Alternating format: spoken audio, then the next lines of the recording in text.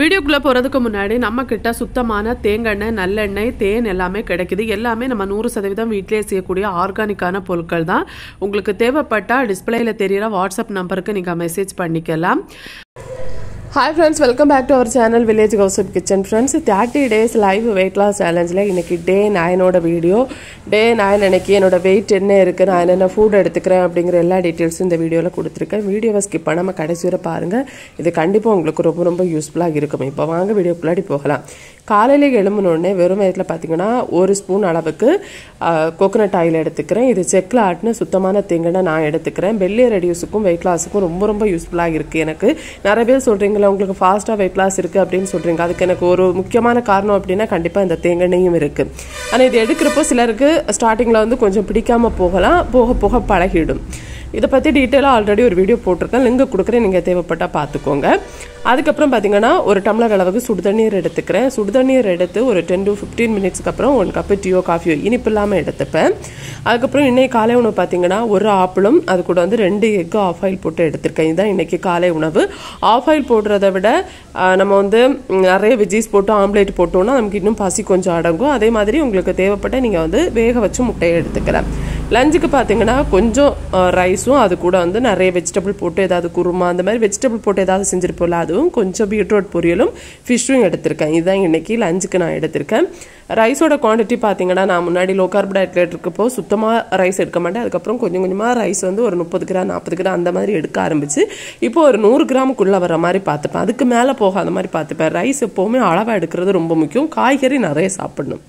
அப்புறம் ஈவினிங் ஒரு கப் அளவுக்கு டியோ காஃபியோ எடுத்துக்கலாம். இனிப்பு இல்லாமல் எடுத்துக்கணும். பிசிஓடி தைராய்டு இருக்குது அப்படின்னா டியோ காஃபியோ எடுத்துக்கக்கூடாது அதுக்கப்புறம் இப்போ ஒரு டின்னர் ப்ரிப்பேர் பண்ணுறேன் டின்னருக்காக பார்த்தீங்கன்னா ஒரு கால் டீஸ்பூன் அளவுக்கு தேங்காய் சேர்த்து கடுகு கருவேப்பிலை தாளிக்கிறேன். நான் எல்லாமே தேங்காயில் தான் சமைக்கிறேன்.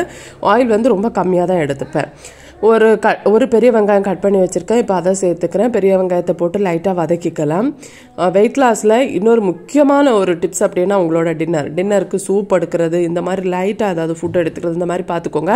இந்த சப்பாத்தி தோசை இட்லியெல்லாம் இது நீங்கள் டின்னருக்கு எடுக்கிறீங்கன்னா உங்களோட வெயிட் லாஸ் வந்து ரொம்ப ரொம்ப ஸ்லோவாக இருக்கும். நீங்கள் அடிக்கடி கேட்குறது உங்களுக்கு எப்படி வெயிட் லாஸ் இவ்வளோ ஃபாஸ்ட்டாக இருக்குன்னு கேட்குறீங்களா அதுக்கு காரணம் வந்து இதெல்லாம் தான். நான் முடிஞ்ச அளவு இந்த மாதிரி உணவுகள் தான் எடுக்கிறது. முடிஞ்ச அளவு கிடையாதுங்க. நான் கண்டிப்பாக டயட் அப்படின்னு வந்தேன்னா டின்னரை வந்து ரொம்ப ஸ்ட்ரிக்டாக பிடிப்பேன். ஒரு ஆறு மணிக்கெல்லாம் சாப்பிட்டு முடிக்கிற மாதிரி பார்ப்பேன்.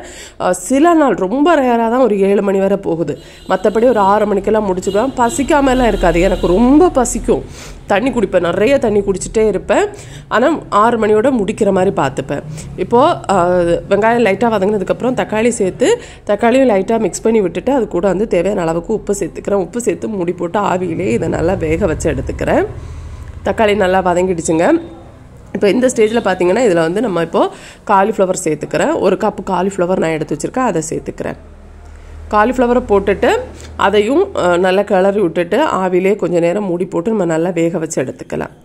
காலிஃப்ளவர் நல்லா வெந்துடுச்சு.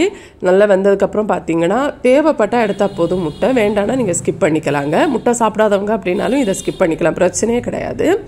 இப்போது ஒரு முட்டை சேர்த்துக்கிறேன். முட்டை சேர்த்து அதையும் கொஞ்சம் இந்த மாதிரி நல்லா கிளறி விட்டுக்கிறேன். டின்னருக்கு பொதுவாக சூப் எடுத்துக்கிறது இந்த மாதிரி சின்ன சின்ன மாதிரி ஃபுட் ஐட்டம்ஸ் எடுத்துக்கிறது. ரெகுலராக என்னோட வீடியோஸ் பார்க்குறீங்கன்னா கண்டிப்பாக உங்களுக்கு புரியும். நான் டெய்லி ஏதாவது ஒரு வீடியோ போட்டுட்டு தான் இருக்கேன். நீங்கள் பார்த்தாலே உங்களுக்கு ஐடியா கிடச்சிடும் இவங்க எந்த மாதிரி ஃபுட் எடுத்துக்கிறாங்க? இப்படி எடுத்தால் வெயிட் லாஸ் ஆகும் அப்படிங்கிறது உங்களுக்கே புரியும்.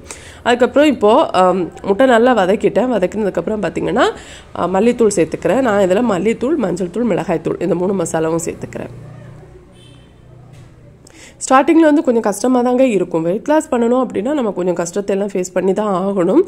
அது ரொம்ப கஷ்டமான ஒரு விஷயம் தான் ஃபுட்டை கண்ட்ரோல் பண்ணுறது அப்படிங்கிறது நம்ம கண்ணு முன்னாடி இருக்கிற ஒரு உணவை நம்ம சாப்பிட முடியாது அப்படிங்கிறப்போ அது ரொம்ப பெயினான ஒரு விஷயம். அதை நான் கடந்து வந்துட்டுருக்கேன் இப்போவும் நான் போயிட்டுருக்கேன் அதனால் எனக்கு அது கண்டிப்பாக தெரியும். நீங்கள் தான் கொஞ்சம் கண்ட்ரோல் பண்ணணும். இப்போ இதை நல்லா மிக்ஸ் பண்ணி விட்டுட்டோமா? இது வந்து அந்த மசாலாவோட பச்சை ஸ்மெல் எல்லாம் நல்லா போனதுக்கப்புறமா நம்ம இவ்வளவுமே சாப்பிட்லாங்க. உங்களுக்கு எந்த அளவு பசி அடங்குதோ அது வரைக்கும் நீங்கள் கூட இந்த ஃபுட்டை சாப்பிட்லாம். அவ்வளோதான் இதுதான் நம்மளோட டின்னர் அதுக்கப்புறம் இன்றைக்கி என்னோடய வெயிட் என்ன இருக்குது பார்க்கலாம். நேற்று என்னோடய வெயிட் என்ன இருந்துச்சு அப்படின்னா seventy seven point five fifty இருந்தேன். இன்றைக்கி பார்த்தீங்கன்னா seventy seven point seven hundred இருக்கேன். கொஞ்சம் வெயிட் அதிகமாக இருக்குது சில நேரம் இந்த மாதிரி நடக்கும். வெயிட் கொஞ்சம் அதிகமாகும். ஸோ இதனால தான் நிறைய பேர் டெய்லி வெயிட் பார்க்கக்கூடாதுன்னு சொல்லுவாங்க. அதிகமாகிடுச்சு அப்படின்னு கவலைப்பட வேண்டாம். அடுத்த நாள் கண்டிப்பாக குறையும். ஓகே ஃப்ரெண்ட்ஸ் நாளைக்கு சந்திக்கலாம். பாய் ஃப்ரெண்ட்ஸ் தேங்க்ஸ் ஃபார் வாட்சிங்